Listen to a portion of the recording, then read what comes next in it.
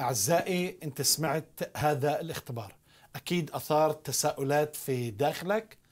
إذا عندك أي استفسار أو أي سؤال بنحب نسمع منك.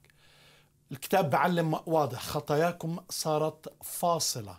الخطية بتفصل عن عن الله بتفصلنا عن الله الابتعاد.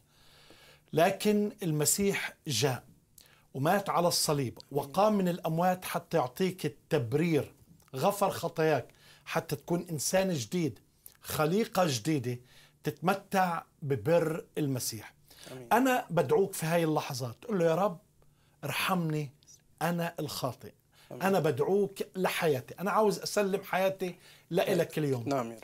إلمس قلبي إلمس حياتي. وأنا اليوم بتوب عن كل خطية بضع إيماني وثقتي في المسيح يسوع.